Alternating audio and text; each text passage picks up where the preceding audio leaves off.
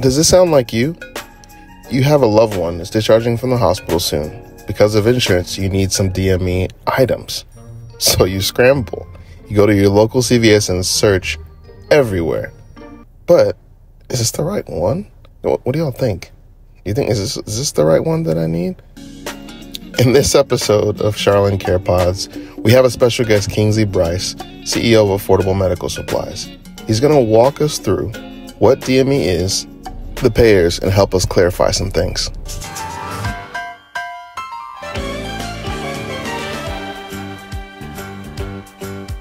It's a rare condition this day and age to read any good news on the newspaper page. And love and tradition of the grand design. Some people. I got my brother here, Kingsley. Uh, man, thanks for coming on, man. You know, it's, uh, it's always good to, to, to chat with my brother. yeah, definitely, definitely. So just, you know, if you don't mind, just walk us through what is DME? Like Yeah. The, the DME, you know, people think of DME as like walkers and going to Walgreens and picking up walkers, but in a nutshell, what is DME? So DME stands for durable medical equipment, right? Um, long story short, a long version of that is it's essentially the, all the equipment that you need to support you and aid you in the home or even outside the home, right? Hmm. So there's things like you talked about, mentioned walkers, wheelchairs, and commodes, and there is a process behind that. Now there is the simple version that's just retail, and then hmm. there's the complex version that is insurance. Hmm. And so you know we can dive a little bit into that, but that their umbrella of durable medical equipment involves, you know, hospital beds, mm. wheelchairs, walkers, canes, but it also involves catheters and oxygen mm. and enteral feeding and, and insulin and mm. things like that. That's under the umbrella of du- durable medical equipment. So Wow. now, not all companies do all things, Gotcha. but all of those things are durable medical equipment. Gotcha. If that makes sense. So if you go to like, so say for instance, I like how you broke that down as retail and insurance, right? Correct, So yeah. say for instance, you're going to like an actual physical DME store, Yeah. right? So the loved one just had surgery, they need a walker. Yeah. What's the difference between like what you'll see at retail and then what insurance? Maybe we'll break down retail. Mm-hmm. Yeah. So, um, for, so for instance, we have a brick and mortar store here Okay. in the Plano area that you can walk in and buy things. Um, now, obviously, there's stuff like Amazon and whatnot, but from those that you come in and buy things, like you have, there is no limits to your options, right? You can mm. get what's most comfortable for you. You can get what you like. Now, with insurance, we as our company, we have a contract with Medicare, Okay. right? And so Medicare tells us how much they're going to pay for a certain item. Okay. So there is not as freedom to get whatever you want. There is a limitation in what they will pay for. So let's just say that you wanted most people come in and they want an upright walker, right? You can actually go on Medicare and find this how much they'll actually pay. Hmm. So the reality is insurance only pays probably forty dollars, hmm. whereas upright walkers cost six hundred. So when people think that oh you know what my insurance says that they'll cover it. They say that, but you need to go and read and figure out, okay, well, what, how much will they actually cover for? Because the reality is, it's not going to cover all of it. It will cover probably a very, very small fraction of what's actually paid. Wow. Right. So now, us as the provider, we have to go and find items that fall within that range that can Hmm. be covered. And a lot of times, like post COVID, it is very hard to find items as cost has been rising and insurance reimbursement has been decreasing. So there's that small Hmm. window of where people can get what they need or they want, Hmm. you know, and what they need. So whereas retail, again, if you need something that's most comfortable for you, it's Boom, a cash. You can get it, no problem. Wow. If you have the cash. Now a lot of realities that people don't, they struggle with that stuff. So that's where insurance comes into play. So Hmm. we do both to cater to both sides of the community. You know, we try to help out as much as we can, but education is really key. Yeah. You got to know, you know, what insurance provides, and I know you do that a lot Yeah, yeah. by communicating and educating people. Hey, what does your insurance get you? What does it cover? So that you can tell your family members and they can kind of be fully Wow. educated. So- What What do you think are the biggest like differentiators between going on Amazon and purchasing something and Yeah. then going to like a retail store? Like, what are the what do you feel like are the differences just in general for families? So one of the reasons that I think we're still here is just that personal interaction. Um, There is a big portion of things that, you know, people have come into my store and say, "Hey, I got this off of Amazon." Nobody communicated to me how it works. Nobody told me about the warranty. Mm. No PT educated me on how I need to use the item. It's just mm. something that you see and you get. Now that's good for getting the product, but how to use it and how to make sure it lasts you long enough and takes care of your mom or your dad or even your younger brother or whoever is hmm. injured, those details aren't necessarily there. Wow. Obviously, you can have YouTube and learn yourself, but there is a benefit to having somebody who's worked in the industry and educated them to say, hey, here are actually some other options you can actually take too. Gotcha. Right. So a lot of people come into my store. An incident happens, you know, accidents happen, Yeah. and a lot of people aren't prepared for that. Yeah. And so they come in like, "Hey, my mom just, you know, she just fell into the hospital. I've never done this before." Yeah, yeah. That's where we come and say, "Okay, hey, no problem. You know, what's your doctor say? Great. What's the steps for recovery? Hmm. Based off of that, here's the proper items that you probably need. Hmm. Wow. Right. A lot of times you can't get that off of just going online. That makes so sense. for our community, that's where we still really benefit. Um, we do help people by educating them and just say, hey, no worries. Like, let's guide you through this process. Let's kind of come alongside Yeah. you and help you to navigate this Yeah, course. That's So, cool. So if someone's watching this in California or New York or Seattle, like they can know, okay, sometimes going to your local DME Yeah. is actually beneficial Yeah. instead of clicking a button. Yeah. and Going on. there's still there's still big benefits. I think that That's cool. Um, people in this era. It's obviously a new era that we're kind of entering into, and obviously, and we can talk about that a little bit later. How much has mm-hmm. changed in the industry, but mm-hmm. nowadays I think it's more instant demand, and a lot of things that are lacking is that personal touch and personal mm-hmm. care, which I know you, you really hone in on. But that does matter in those delicate moments. You do need that little bit of extra, you know, conversation and guidance that will help you navigate through. Okay. How do I approach this situation versus just clicking and purchasing? That's good. There is a little bit more that you can do to make sure that your loved one is taken care of. That's So, good. That's good. Yeah. So okay, so retail now insurance, right? So Mm-hmm. what is the process of like, you know, um, doctor, you know, writes an order for Correct, a walker. yeah. So like, walk us through. Because we get this, you hear this a lot. A lot of the frustrations of like, Yeah. we can't get this or we can't get this. Yeah. Can you, if you, if you don't mind, walk us through like a patient who just had uh, a knee replacement Yeah.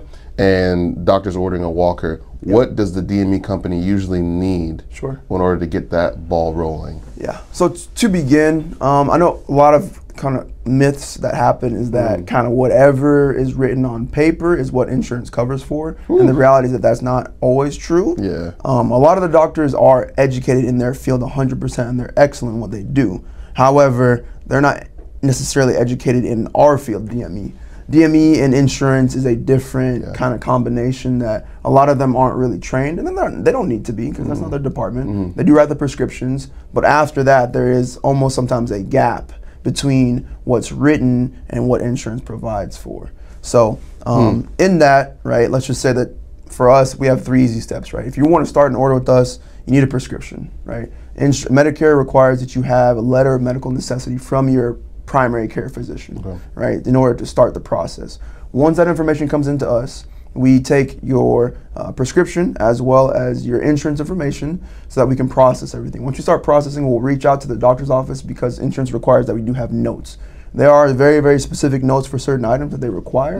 And so we have to go and communicate with the doctor to get all that information in. Once we have all that information into your file, um, then we're able to process it either through a prior authorization. Sometimes they don't require it. So we can process it for the sake of just making sure that when they do an audit, we have all the information. We don't typically like to come back to patients um, to collect. Right. So we like to have everything on the front end. So we're Right. pretty thorough with like, hey, your doctor needs to have this, this, and this.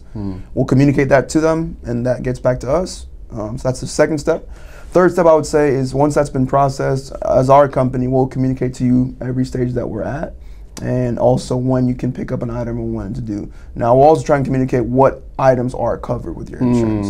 So not That's everything. deal. is- That's Yeah, not big deal. everything is covered. I know that you see something on Amazon or you see something on Google that you like, but that's not always what's covered, right? Yeah. Insurance covers for an amount, not a product. Hmm, that's a good point. And that's that's what the connection I think people miss. It's not a product; it is a number, a dollar amount. Right? It's almost like a coupon that they give you. Hmm.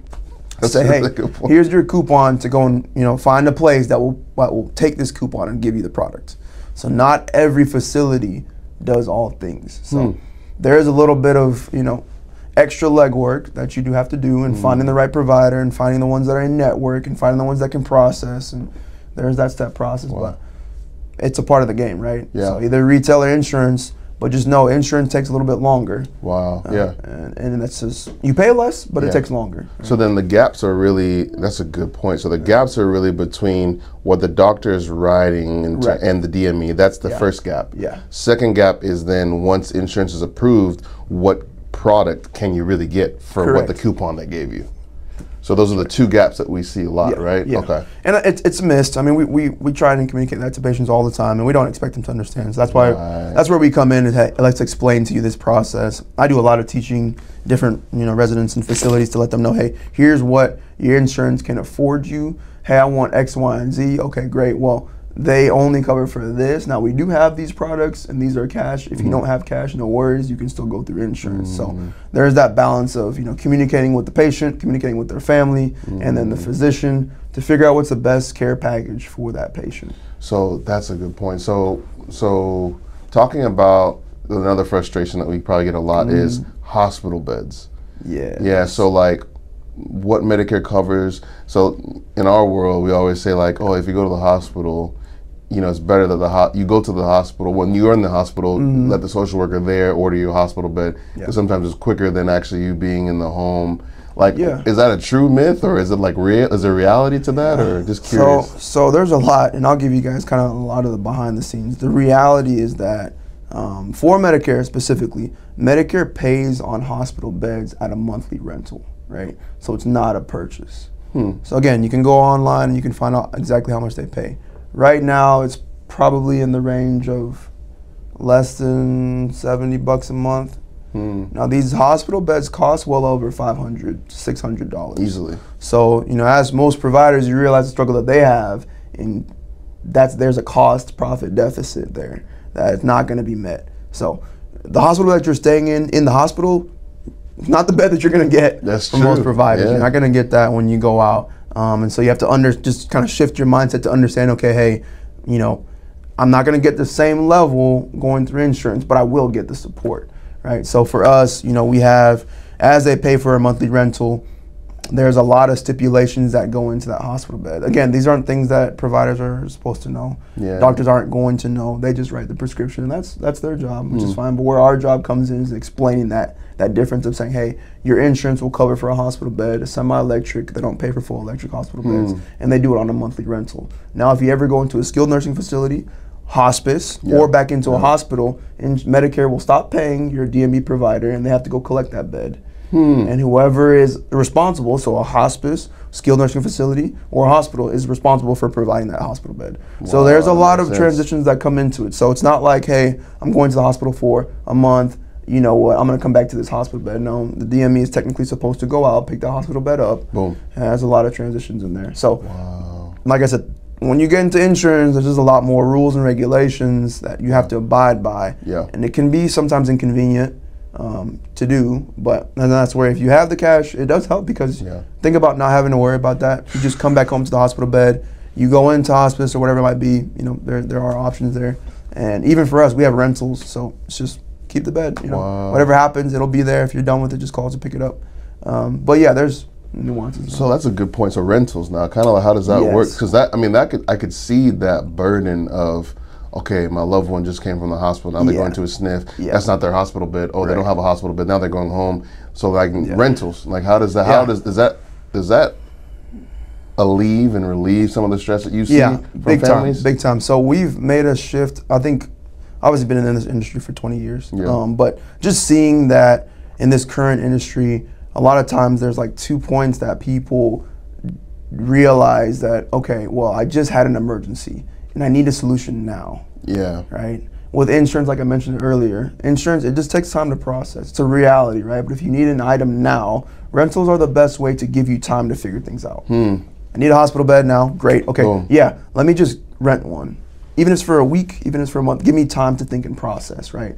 The other side of that is that well, whenever I'm done, and there are times that maybe someone gets better, or unfortunately, sometimes somebody passes away. Yeah. Now you're left with all this DME equipment that you have to have to figure out how to sell, figure out how to move into storage. Uh, it's just a reality that happens, right? So sometimes people don't want to be left with either side of that ball, and so rentals are an easy way to say, great, when this is done, I can have this taken Boom. away, and I don't have to worry about looking at you know something that reminds me of their passing. It's gone. Or it can be like, hey, I also don't want to remind them of the season that they were in before. They're better now. Let's remove everything. So there's benefits to rentals that are short term, quick solutions. Yeah, Um, yeah. But also long term solutions too. That's when you're thinking good. about the future of like, well, I don't want to have to have this um, with me. Yeah, You know. yeah. All the time to remind me what we, what we just went through. Wow, So, rentals are beneficial. What are some are so I know hospital beds are probably the most frequently rentals. Are there like other Yeah. types of equipment that people use like they like yeah, to rent? so we do, and this is not,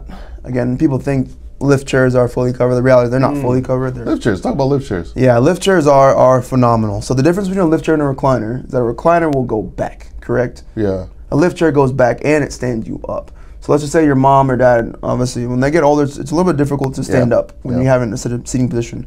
A lift chair raises you up to a spot where that process is kind of eliminated. You can kind of just almost walk out Yeah, of the chair. yeah. So it's very beneficial for that. And also, we have lift chairs that are helpful for people who have arthritis or even major swelling, Yeah. um, where their feet may swell in the morning. Mm-hmm. A lift chair can put them in a position where their feet are higher than their heart. And you have, it's called Trendelenburg feature, where that blood will now rush back, yeah, and help reduce the swelling. So there's additional features that lift chairs provide where, you know, most recliners don't. Yeah. Those are helpful because again, you can rent them. If you just have someone who just had an orthopedic surgery, it's huge. A lot of times they can't sit past a certain degree, 90 degrees. So you need to have a seating position that allows you to reduce that. That's so real lift cool. chairs are helpful. Um, people who have cosmetic surgeries are helpful. So um, just for sitting down and standing up, reducing that strain on your abdomen during that surgery. So there's a lot of benefits to lift chairs. Wow. And rentals are always big, especially if you're not ready to commit to a full one. Yeah. Just try it out. If they like it, they, they can get it. If they don't, Yeah. just send it back. So then, so insurance doesn't cover lift chairs, or they do? Correct. So insurance it, it is a very very complex process. Now these items are you know well over thousands of dollars, and what's Yeah. hard coded on those is going to be the lift me- seat mechanism.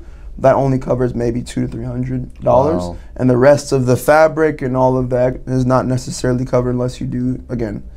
Not something everybody needs to know, but there is, you know, there's miscellaneous codes, and you try to get to that. It just takes a lot longer right, to get. right, That's a right. reality, and so Yeah. um, doing it on a smaller scale is a little bit more beneficial because it's just time wise. Right? Yeah, if you have the yeah. time, you can sit and wait. It may take a couple months, but you can get there. Yeah, yeah, So, yeah, yeah, yeah.